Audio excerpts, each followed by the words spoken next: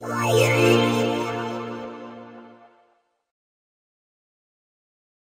everyone, in this tutorial I'll be teaching you how to convert your QuickTime files to iMovie format on Mac using iSkysoft iMedia Converter Deluxe.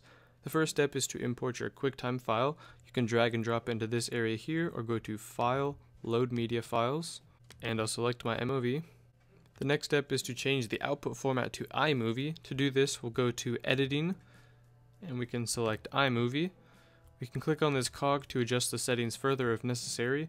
We can also go down here and adjust the output location, which looks good. And to start this conversion, we simply need to click on this convert button right here.